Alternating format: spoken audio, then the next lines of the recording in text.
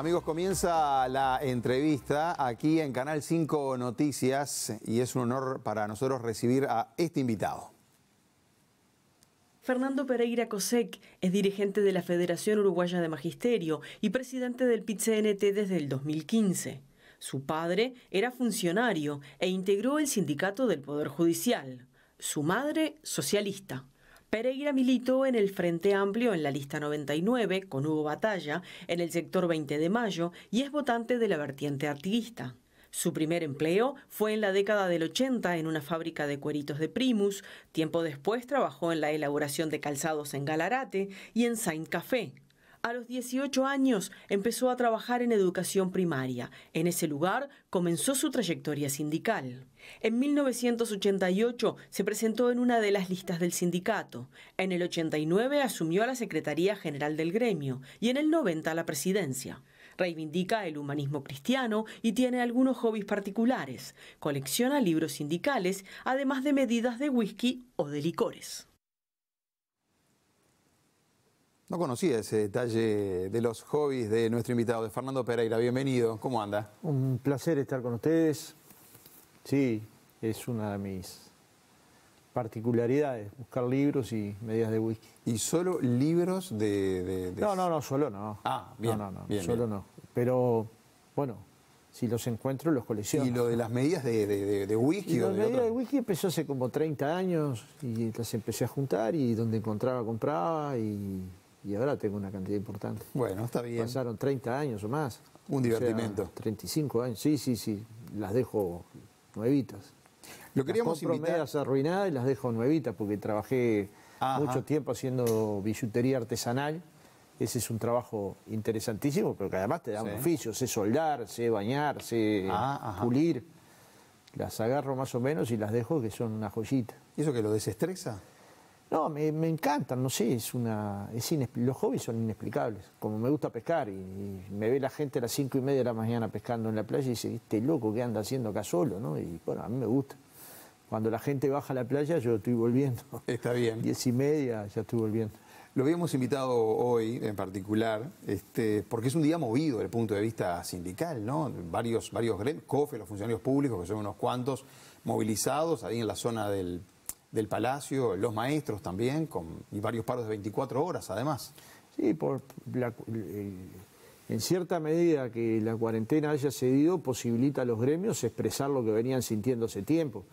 Para las maestras y funcionarias de primaria, maestros y funcionarios, o profesores y profesoras, en el año pasado se perdieron 18 jornales. Desde el año pasado para acá se está diciendo que se va a encontrar una forma de cómo recuperar eso perdido en el periodo, pero luego se presenta la rendición de cuentas y no está.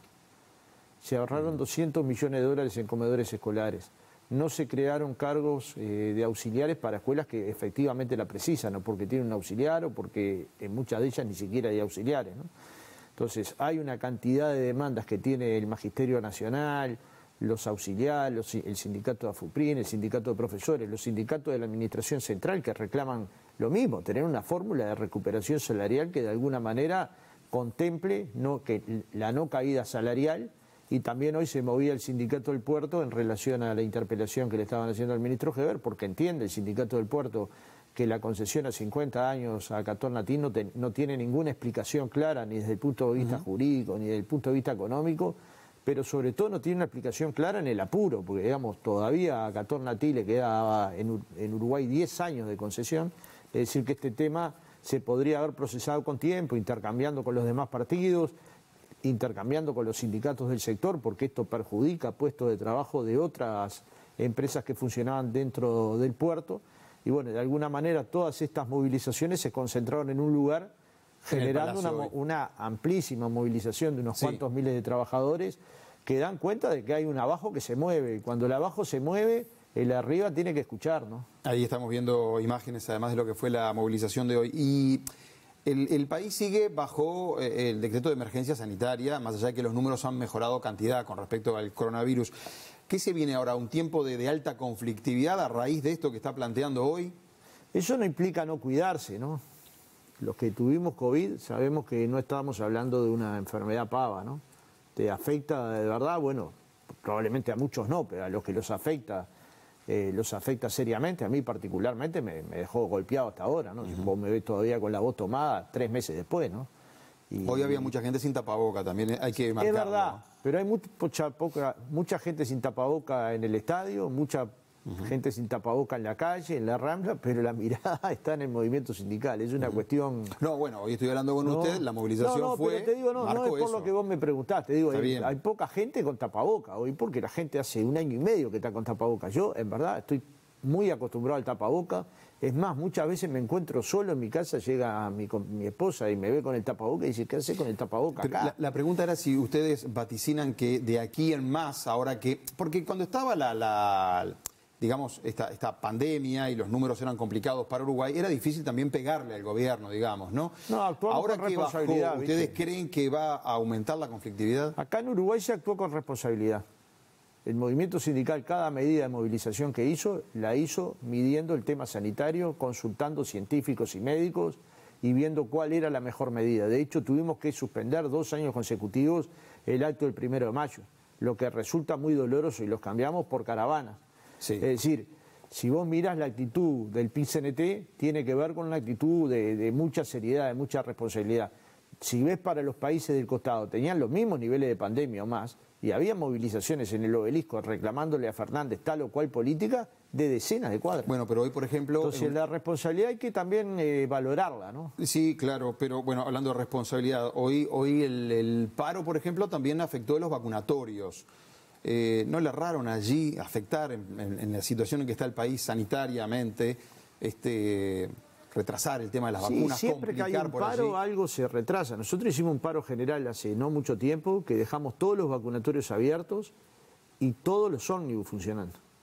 Y por primera vez hubo un paro general con la totalidad de los ómnibus en la calle. Eso lo hicimos por el bien de aquellas personas que estaban agendadas para vacunar. Por lo que entiendo, hoy hubo pequeños, pequeñas dificultades que se fueron saldando a lo largo del día, de forma tal que problemas hay como en cualquier medida, porque si hay una medida de paro en cualquier lugar, algo va a afectar. Porque si se hicieran medidas para no afectar, ¿para qué serviría? No, bueno, pero se puede, eh, en este caso en particular, proteger a los vacunatorios también. Como cuando deja una guardia gremial. Exactamente, sí, se puede y de hecho, por lo que entiendo, no fue grande la dificultad. Claro, no, mi, pregunta venía porque si no se, ¿cómo lo ven ustedes? Si no se había pasado una línea, el, como lo marcaba, el movimiento sindical siempre fue responsable, dejó guardias gremiales en UTE, por ejemplo, en los hospitales que no puede, no puede caer el sistema. Tenés agua, tenés teléfono. Exactamente tenés internet. Pero así como reconozco eso, también está esto que estoy marcando. Si no se pasó una línea hoy, una línea que capaz que no debería pasarse, esa línea roja, con respecto a los vacunatorios, con respecto a los comedores escolares también, que fue otro punto de discusión. Los comedores escolares funcionan 180 días en el año. Los otros 185 días. ¿Quién se preocupa de esos niños? ¿Quién es el responsable de la alimentación escolar de esos niños? Si fuera un servicio esencial, nos Ahí se supone que el gobierno. La esencial, el, gobierno tendría que ser responsable, pero no es. ¿Usted cree que, van a, que tienen alguna medida para el 25 de agosto?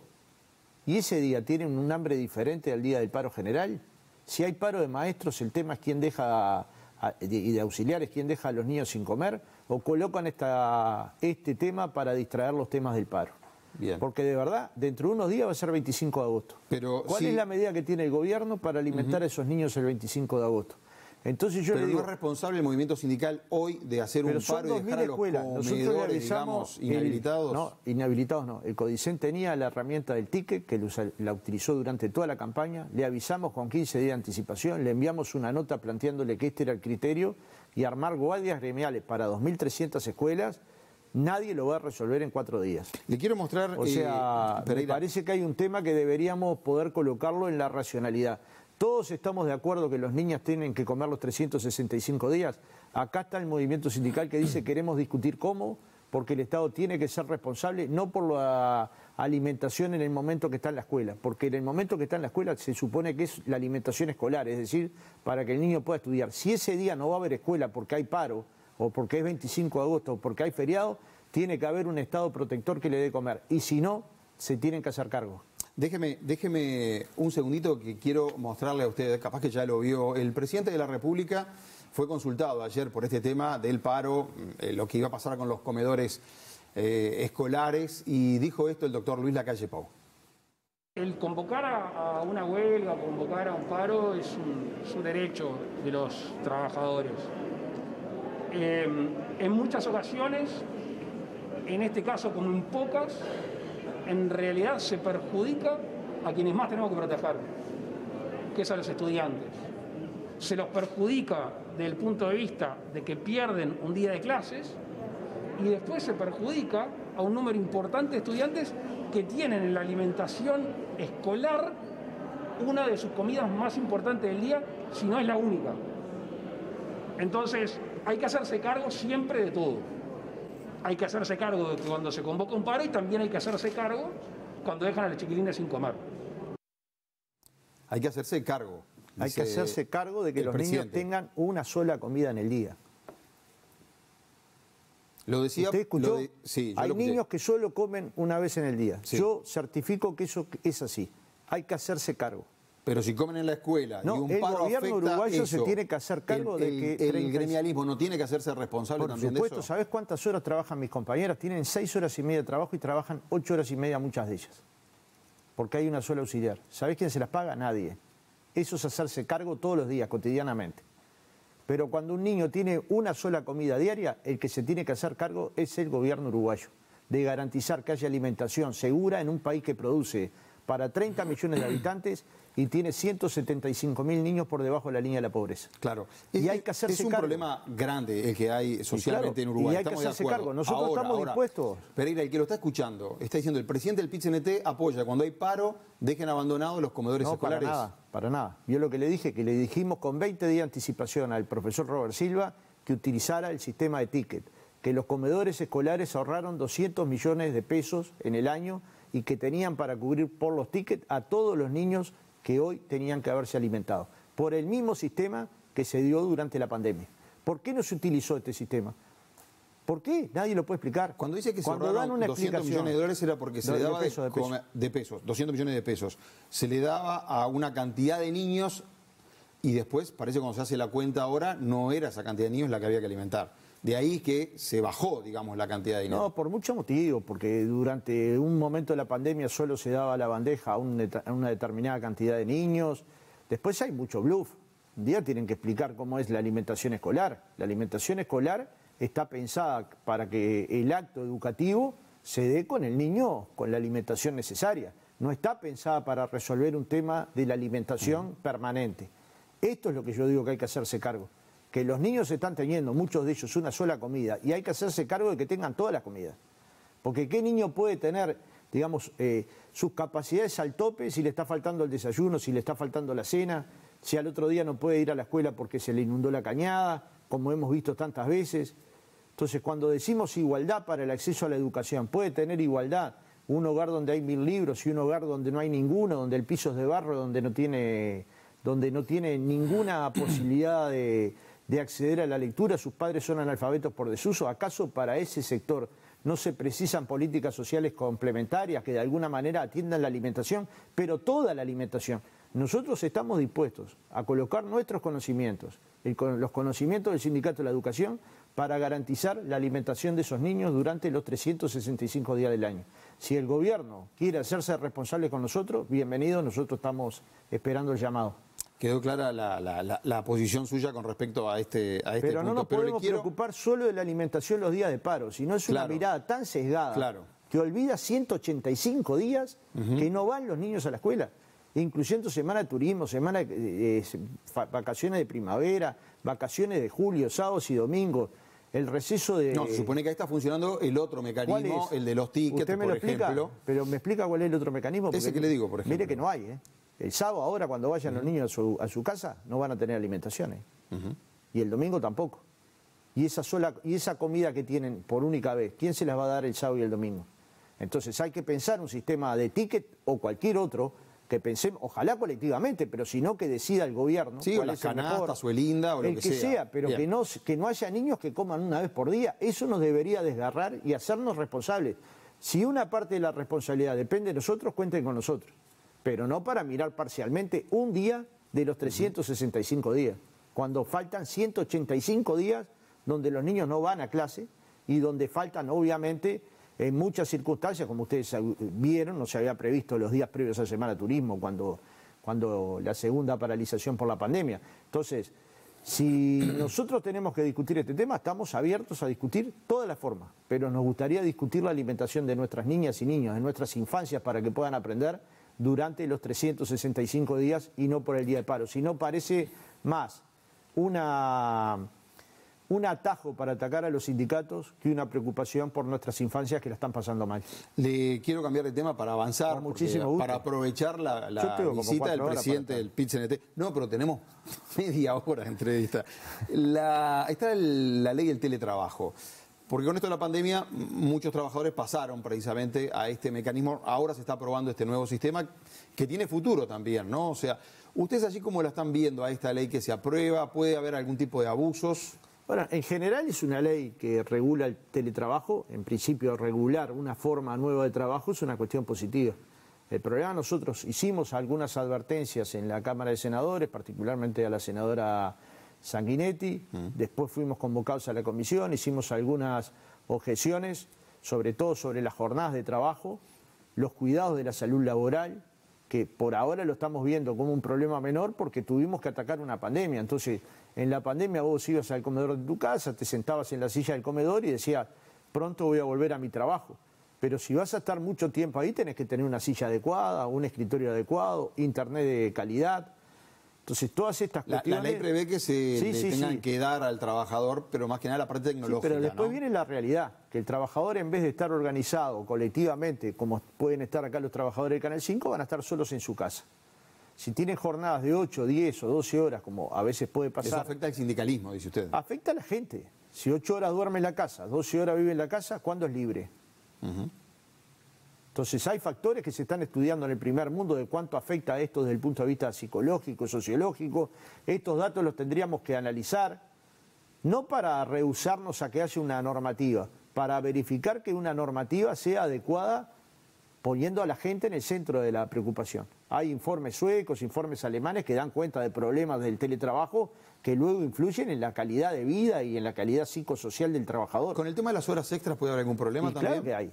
Si usted trabaja ocho horas acá y se pasa dos horas, tiene que pagar dos horas extras. No es que al otro día viene dos horas menos. No es así como ¿Y con este proyecto de teletrabajo cómo se contempla? Bueno, es que lo que yo digo, que hay que regular, porque al principio a todos nos va a parecer bien, yo eh, conozco experiencias ahora de papás y mamás que tenían niños chicos en apartamentos de 50 metros, que están hechos para que las personas duerman ahí, estén un ratito en la tarde, pasaban todo el día y los niños le caminaban por encima, como debe pasar, por suerte. Entonces su calidad de trabajo era patética.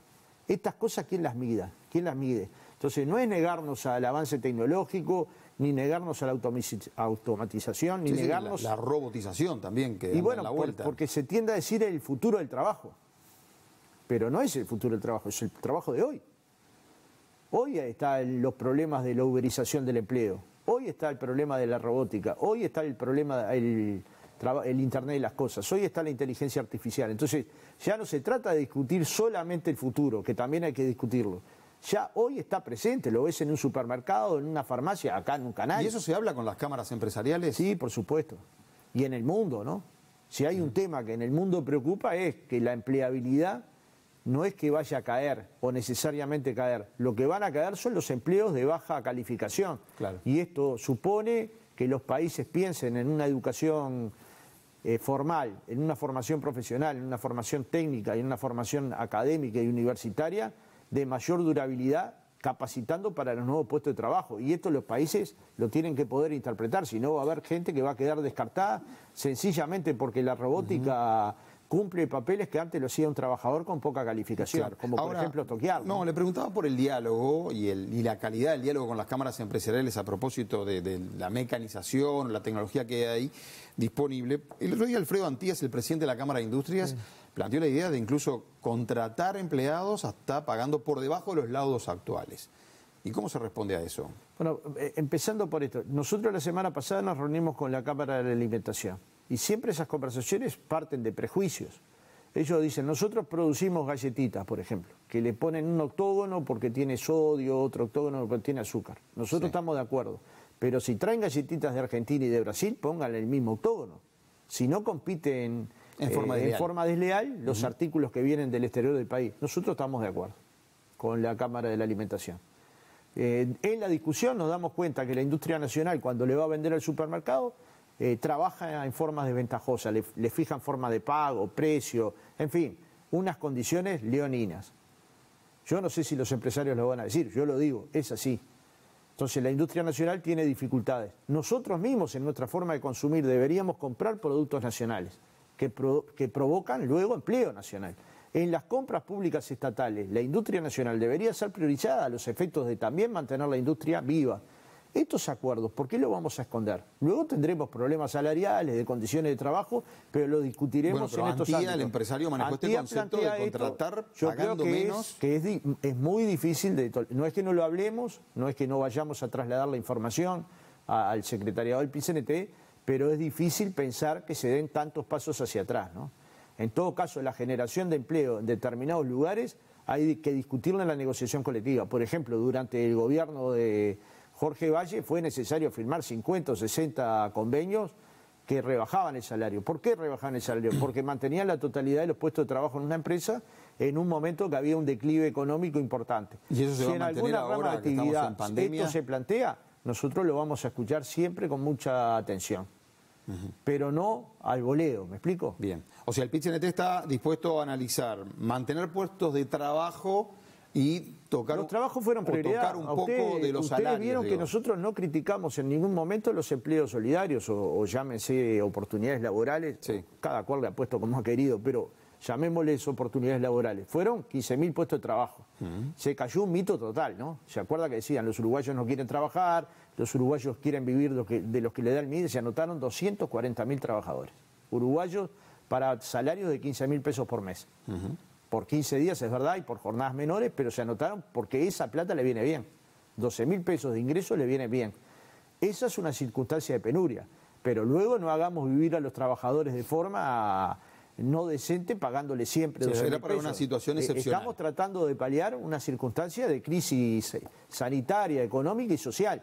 Ahora, luego, en el Consejo de Salario hay que tratar de construir empleo decente. ¿no? Pereira, está, empezó a recorrer el país por el tema de la ley de urgente consideración. Sí, para, para la- ustedes están por la derogación de estos 135 artículos. Empecé, fui a Artigas, fui a Salto, a Paysandú, a Río Negro, mañana estoy en Colonia, en Nueva Albesia, en Rosario, y pienso que antes del fin de agosto vamos a haber visitado todo el país.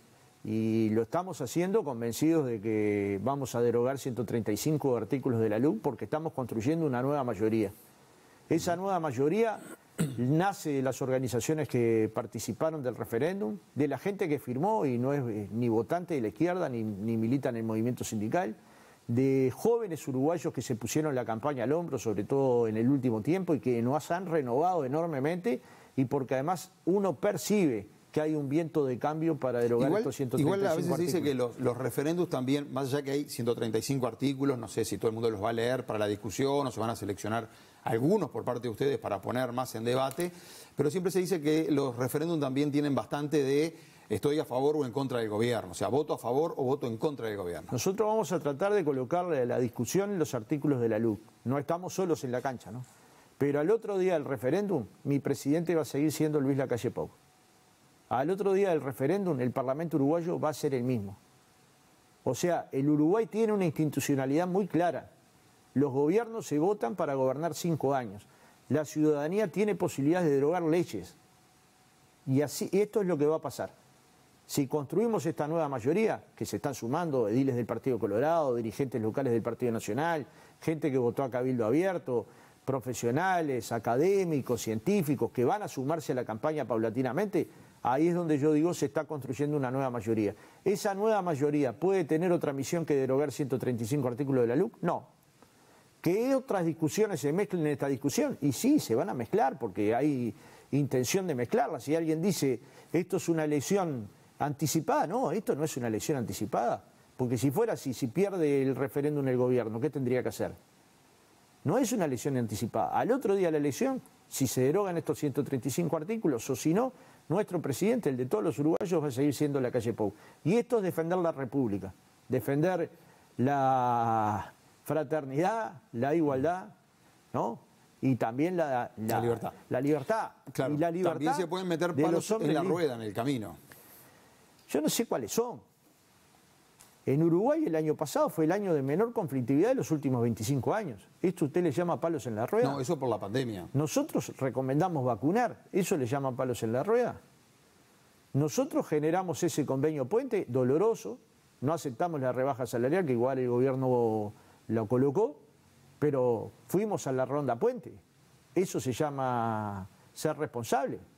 Entonces, cuando se dice estamos ante un movimiento sindical irresponsable, pero no ven las imágenes de televisión, lo que pasa en otros países del mundo, o simplemente su subjetividad, lo que quieren crear es un pequeños niveles de odio que en la sociedad luego abajo no se ve. Yo salí a juntar firmas los 180 días, salvo los que tuve con COVID. Y salvo cuatro o cinco excepciones, la gente nos escuchó con respeto, incluso aquellos que no firmaron. Por eso nosotros agradecimos a los que salieron a juntar firmas, en algún momento eran más de 15.000, que se compraban su propia tableta, su propia almohadilla. Esto es lo que conmueve a cualquier militante. A los que firmaron, 800.000 siguen llegando firmas, hoy llegaron firmas del exterior del país. Y a los que no firmaron, pero siempre nos escucharon con respeto, se llevaron el material y yo creo que le sembramos la semilla de que leyera los artículos, de que se fijara que si lo que nosotros decíamos era verdad o no, que se fijara en el régimen de alquileres nuevo, que se fijara en el tema educativo, si es lógico que los maestros no estén en la educación, y yo creo que cuando esto la gente lo empieza a percibir, dice, yo habré votado al presidente de la calle Pau, pero no estoy dispuesto a amparar esta forma de legislar, que es colocar 40 proyectos de ley en una misma sola ley. ¿Va a poner el foco en alguno de los artículos en particular? Yo, el capítulo combustibles, el capítulo seguridad. Una vez en la radio de Montevideo alguien me dijo, si me explica los 135 artículos, se lo firmo. Y los, me senté en la Rambla, le empecé a explicar uno por uno y la persona cuando iba en el artículo cuarto me dijo, prefiero firmarle. Entonces, nosotros estamos, hemos estudiado bien la norma, estamos en condiciones de debatir, pero el debate más importante no es el que yo pueda tener con alguien que defienda la ley. El debate más importante es el que el militante hace con el vecino, el que le lleva información, el que le transforma la realidad, el que todos los días lo ves. No va a ser la decisión del pueblo un debate que puede ser muy acalorado o no va a ser si efectivamente nuestros argumentos son más potentes que los argumentos para, Para terminar, porque nos quedamos sin tiempo. Vengo mañana. Eh, siempre es grato y va a ser invitado nuevamente, seguramente aquí a, la entrevista que las estamos iniciando. Pero quería preguntarle, para terminar realmente, si llamó por teléfono al senador Andrade por esto que pasó de que no pagaba las deudas, le pregunto, a ver, para separar bien los tantos, porque él es un dirigente sindical de, la construcción llega al Parlamento, pero sigue sintiéndose un dirigente sindical. Y esto que pasó fue este, muy, muy publicitado, digamos, llegó mucho a la opinión pública, no haber pago, estoy hablando, durante 10 años la contribución inmobiliaria de su casa en San Luis. Lo llamó, habló con él para decirle qué pasó, estuviste bien, tenés nuestro respaldo, ¿cómo lo vio? Sí, yo hablé con él porque es mi amigo, es mi compañero, sé lo que lo vi, vi construir parte de esa casa y si lo, ustedes lo hubieran visto, estarían conmigo aplaudiendo desde la vereda, en las condiciones que él solo, con su compañera, levantaron parte de esa, de esa construcción. No, eso no está en discusión, cómo usted puede levantar la, casa con esfuerzo. El asunto es si paga las deudas como todos. Si ustedes lo vieran, no es que lo aplaudirían. Luego hay una deuda de contribución inmobiliaria. Cualquier deudor lo que tiene es la obligación de pagar. Y si no paga, el que pierde es el que debe. Usted no paga la contribución, no paga la patente, el que paga es el que debe. Si él debió haberlo pagado antes, él mismo lo ha admitido. ¿Para qué yo voy a ahondar en eso? Y de hecho hizo usted un convenio... lo llamó y le dijo tenés que pagar. No, no, no, yo, yo no doy consejos. La gente debe tarjetas de crédito, la gente debe alquileres porque no puede pagar, la gente debe al almacén. En mi casa pedíamos fiado en el almacén de Batista y le pagamos cuando podíamos. Soy consciente que en mi casa se debió hasta tres meses de alquiler en la época de la dictadura cuando destituyeron a mi padre y eran gente honrada que quería pagar. Y ni bien pudieron, fueron y pagaron. Entonces, a veces. hablando de 10 años, ¿eh? sí, sí. Hay gente que debe más. Y hay deudores contumaces del Banco Central que no salen en ningún programa del Banco Central, pero que deben millones de dólares al Banco de República. Y no salen en ningún litado, en ningún programa. Eso quiere decir que nosotros tenemos que. No somos seres humanos perfectos. Ah, pero ustedes tampoco, vos me decís que no hay ningún periodista que tenga deudas. Seguramente. Y claro, el problema es que no salen. no, el asunto es si las paga o no las paga. El asunto es que es senador de la República. Y a veces no pueden, pero bueno, eso Con sueldo de senador de la República. No son los mismos casos, no es comparable, digo. Bueno, yo no sé cuánto gana un periodista. Le puedo asegurar que menos que un senador de, la República. pero todos no sé, no sé. Yo no sé. En líneas generales. En líneas generales pienso que pueden pagar una contribución como la que debía Andrade. En líneas generales. Son 10 cuotas de 4.500 pesos. No estamos hablando que tenía una deuda de varios millones de dólares como existen los deudores con contumaces del Banco que están figurando con grado 5 en el Banco Central. Entonces, cometió un error, él lo admitió, ¿para qué yo voy a seguir insistiendo en eso? Lo que digo es que es un tipo con valores aplaudibles. En el, acuerdo con él o en el desacuerdo, yo he tenido discrepancias con él muy importantes, pero es una persona de bien. Fernando Pereira, presidente del PIT-CNT. Gracias por haber venido. Un placer, eh, muy bonito el estudio, así que felicitaciones. Lo hicieron en los, en los talleres del SODRE. Felicitaciones a mis compañeros del Sindicato del SODRE. Gracias, amigos. Gracias a ustedes también por seguir con nosotros aquí en Canal 5. Los invitamos para mañana. Buenas noches.